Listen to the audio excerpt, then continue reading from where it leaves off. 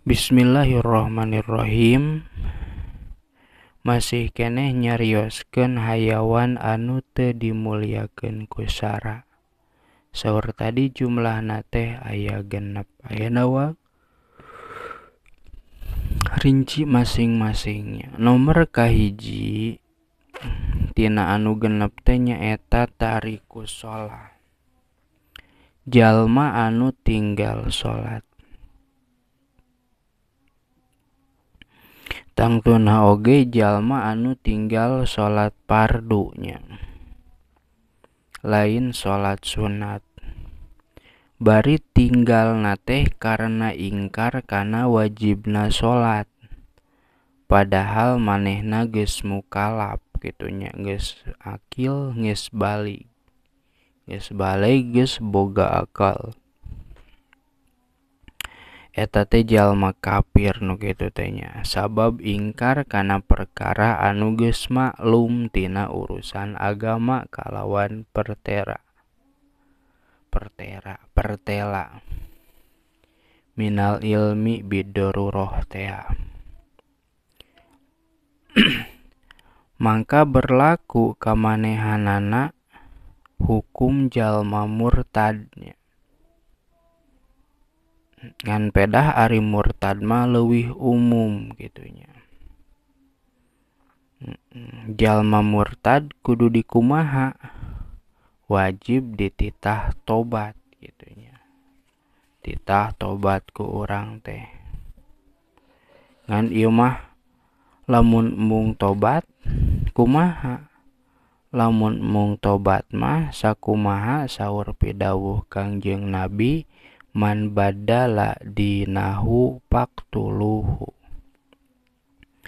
Maka sajalma anu ngaganti agamana teges nama e, jalma murtad kaluar tina agama Islam maka pekwe paehan kumarane. Hadis riwayat Imam Bukhari. Saha maehanana anu ngalaksanakeunana Imam Algojo gitunya lamun negara Islam. Sarang ayah dauhanana nyaeta al-ahdu alladzi bainana wa bainahum as-salatu pamantarokaha fakod kaparo Ari perjanjian antara orang jeung antara kaum kafir eta teh salat maka sahajal ma anu tinggal salat maka sanyana manehna eta geus kafir.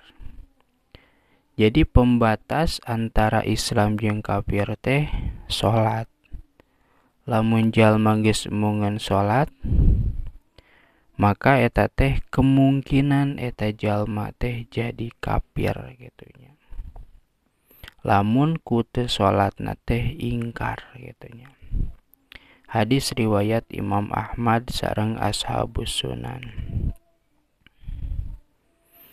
Oge ku para ulama saha ulama teh Imam Syafi'i Imam Abu Hanifah sareng Imam Malik iya hadis teh di naon? Dimahmulkeun ka jalma anu ingkar kana wajibna salat jadi pakod kaparo pakod kaparo teh lamun jalma eta sajabatara salat teh oge ingkar kana wajibna salat gitu tah. Tapi jalma anu tinggal salat karena kedua berarti ia berangkat tina pertanyaan. Kumaha lamun teh matara salatna teh ieu mah lain karena ingkar? Ah karena kedua we tah jalma anu tinggal salat karena ngedul eta mah e, masih ngaku jeung nekadkeun kana wajibna salat eta jalma teh. Maka eta jalma henteu kafir gitu tatapina pasek ari pasek teh dosa gede gitu. Sarta anger kudu dititah taubat. Naon tobatna jalma anu pasek sapertikeun kitu tobatna teh nyaeta salat gitu titah salat kumaha lamun teu tobat wae? Lamun teu tobat wae sakitu geus dititah tobat maka berlaku keur manehna hukuman had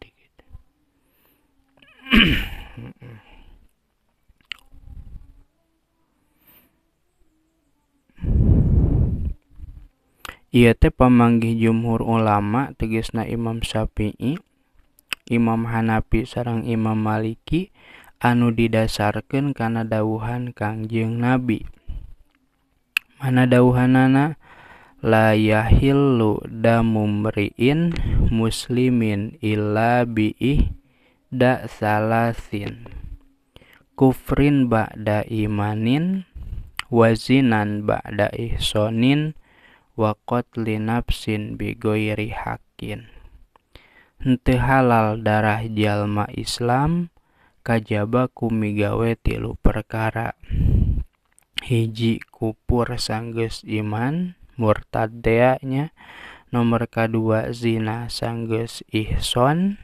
Ihson teh pernah ngasaan jima halal nomor katilu maehan nyawa jalma anu henteu aya hakna hadis riwayat Imam Bukhari sareng Imam Muslim. Tos panjang teuing. Wallahu a'lam bisawab